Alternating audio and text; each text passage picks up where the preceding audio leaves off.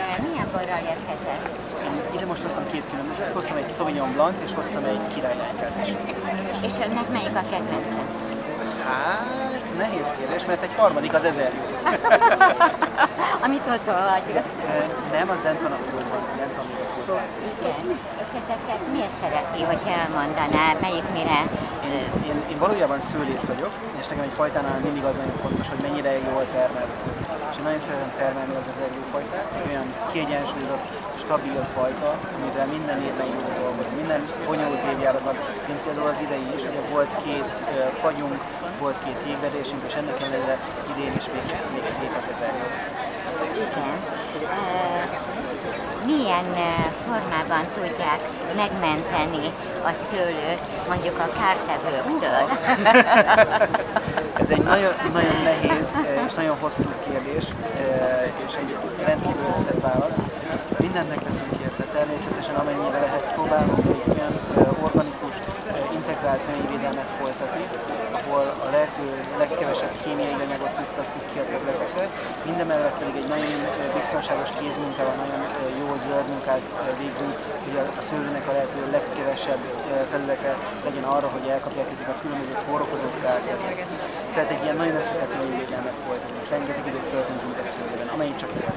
Idén milyen volt a hadjárat?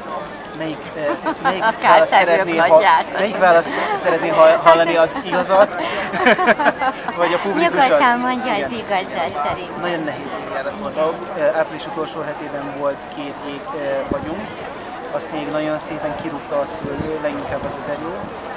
Utána pedig július második hetében volt két jégverésünk egymás után. Azóta több viharral volt dolgunk, tehát sajnos sérült egy picit a lombfelület, sérült valamennyi a fűr, valamennyire a fűrzóna is. A gombás betegségektől sikerült megóvnunk a fűrzónát, de most már a friss hajtásokon ismét látjuk, hogy fertőznek ezek a gombás betegségek. Rengeteget vagyunk kint a szőlőben, bízunk benne, hogy most már idén több bonyodalmat nem kapunk a teremtőtől szőlőfronton. Igen. Szeretném, ha bemutatnám mondjuk a önmagát, illetve a családját, hogy milyen régóta foglalkoznak szőlővel.